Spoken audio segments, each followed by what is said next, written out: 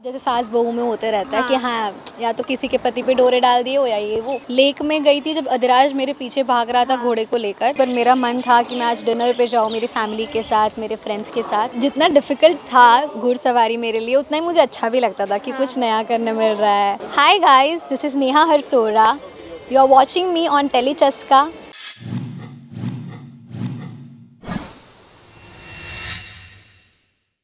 hi guys welcome to Tellychaska and आज हमारे साथ नेहा है। तो Neha firstly we would like to congratulate you for hundred episodes thank you so much तो क्या कहना चाहेंगी? इतना लंबा सफ़र था कैसे तय किया? डू यू फील कि हंड्रेड एपिसोड्स कंप्लीट हो चुके हैं? It still feels like yesterday every day I am learning और ऐसे ही लगता है कि आज कुछ नया है। बिकॉज़ कुछ मोनोटनस तो नहीं हो रहा है कि हाँ एक ही चीज़ हम रिपीट करे जा रहे हैं झगड़ा कर रहे हैं ये वो। जैसे सास बहू में होते रहता हाँ। है कि हाँ। या तो किसी के पति पे डोरे डाल दिए हो या ये वो। नहीं हमेशा कुछ ना कुछ नया होता है और आ, शूट वाइज भी हम जैसे जंगल में आउटडोर शूट करते हैं। कभी गिरना कूदना होता है घुड़सवारी होती है या फाइट्स होती है तो बहुत सारी ऐसी चीज़ें हमारे साथ होते रहती है। तो जैसा कि आपने बताया आपका एक्शन सीक्वेंस भी आपने किया है तो हाँ मैंने स्वॉर्ड फाइटिंग भी की है हाँ। मैंने बहुत सारी लड़ाइयाँ भी की है। तो कौन सा एक ऐसा मेमोरेबल था या कह सकते चैलेंजिंग था आपके लिए? चैलेंजिंग में सो स्वॉर्ड फाइटिंग में बस एक वो अप्रॉक्सीमेशन जो होता है सामने वाला कब वार करेगा उसमें मुझे थोड़ा डिफ़िकल्ट हुआ था डिफ़िकल्टी फील हुई थी। पर आई रिमेंबर मेरे लिए कह सकते बहुत ही गंदा नहीं एक्सपीरियंस कह सकते बट बहुत डिफ़िकल्ट वो था जब मैं वो लेक में गई थी जब अधिराज मेरे पीछे भाग रहा था घोड़े को लेकर। तो वो रियल लेक में मैं गई थी और फिर उन्होंने मुझे बोला था पहले कि हाँ हम आधा ही डुबाएँगे but then obviously I was jumping from the cliff so मुझे पूरा ही डूबना पड़ा. And that day I was very you know done with myself कि अरे नहीं नहीं हम नहीं करना शूट तो इसी के साथ ये जानना चाहेंगे कि इतने हैवी कॉस्ट्यूम में आपको डिफ़िकल्ट होता है या बहुत ही डिफ़िकल्ट होता है। अभी तो भी मैंने देखो इयर नहीं पहनी है because I keep removing my stuff. And the whole day इस लहंगे में या इन ज्वेलरीज में बहुत डिफ़िकल्ट होता है। कान वान लंबे हो जाते हैं मतलब कान के होल बोलो। ये तो बहुत ही गिरता है शॉर्ट्स में।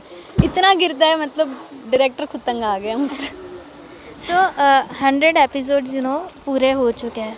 तो इस चीज़ को कैसे सेलिब्रेट करने वाले हो? क्या कुछ अ, सोचा है आपने?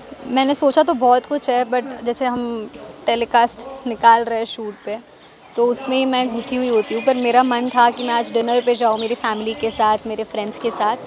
बट लेट्स सी लाइक जो क्या टाइम पे मैं छूटती हूँ। वरना घर पे ही सेलिब्रेट कर दूँगी। और सेट पे अगर कुछ होता है तो हम देखते हैं वहाँ पे सेलिब्रेशन के लिए। ओके okay, इसी के साथ ये जानना चाहेंगे कि आपका अब तक का फेवरेट सीन कौन सा था जिसको करके आपको एकदम बहुत मज़ा आया हो? अम्म, देखो जितना डिफ़िकल्ट था घुड़सवारी मेरे लिए उतना ही मुझे अच्छा भी लगता था कि हाँ। कुछ नया करने मिल रहा है। दोस्ती हुई घोड़े के साथ? घोड़ा हाँ Moti is our friend now Moti knows us and he knows कि अब डबल लोग दो लोग बैठेंगे या एक लोग बैठेगा जो भी बैठेगा मतलब परेशान हो जाता है वो भी। कभी कभी वो भी टेक ले लेता है। ओके तो फैंस एंड व्यूअर्स को क्या कहना चाहेंगे? राजमहल के क्या कुछ अपकमिंग ट्विस्ट उन्हें देखने मिलने वाले? जिस तरह से हंड्रेड एपिसोड्स तक आप लोगों का साथ दिया है आगे कितना साथ देना चाहिए?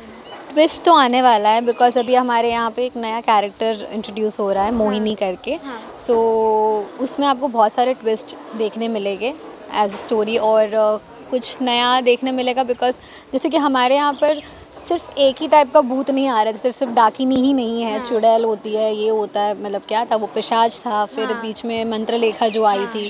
सो वैसे डिफरेंट काइंड ऑफ़ मुझे खुद को भी नहीं पता था कि ये ये चीज़ें भी होती निशाकिनी करके कुछ एग्जिस्ट करता है या हाँ। क्या बोलते हैं सर्पिका करके या सांप वाप के भी जो होते हैं गोस्ट मोड हाँ तो वो सब चीज़ें भी मतलब जानने मिलती है तो या you can get something new from this upcoming track